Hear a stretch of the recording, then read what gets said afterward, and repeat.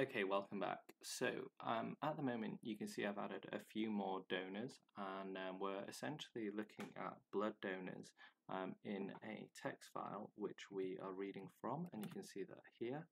We've outputted it but our program is meant to be able to find a blood donor. It doesn't really do that at the moment, it just prints them all out. So let's um, have a go at um, programming it so that we can find a um, specific blood donor based on the blood group. Over here then we've got a few options. Do we want to um, output all blood donors?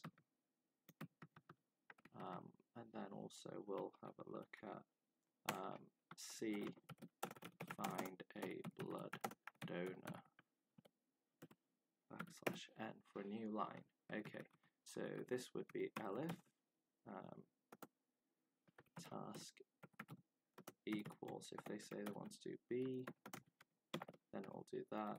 And at the moment, let's just stick an else in. Well, we could say elif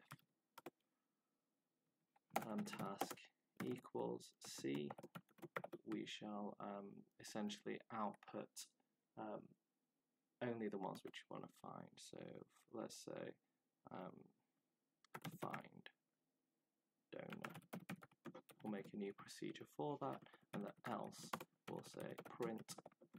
This is not recognized and we'll return to main. So I'll just start all over again effectively.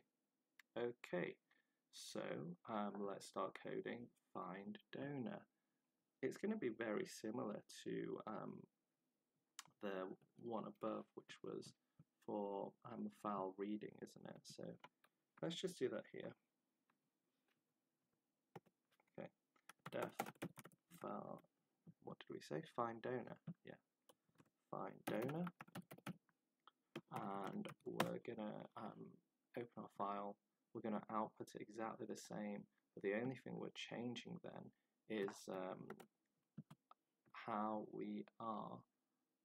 Um, ah, this is a good point actually. We shouldn't really be repeating the code, should we? Um, done our file read. Okay. Um, let's just replicate the code now. We'll think about efficiency um, later on.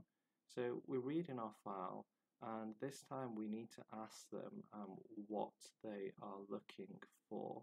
So let's say um, in here, um, we're going to ask what um, blood group are you looking for? So blood group equals input. Uh, please enter the blood group you are looking for, question mark. And then what we can do is um, we can loop through our file and um, in here we can put in an if statement which says if um, the blood group um, is a match with our read list as this is our 2D list that we've um, read in from our file. Um, count, and we it's not going to be details this time because we know exactly which sub-element it's in. This is 0, this is 1, this is 2, this is 3, so it's going to be in position 3, uh, index 3. So if the blood group is equal to read list count 3, then it's matched effectively, um, and we can print that. What we're also going to do is we're going to set a boolean flag here. So we'll say found equals false.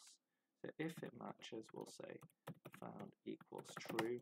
We'll print all of those out and a new line.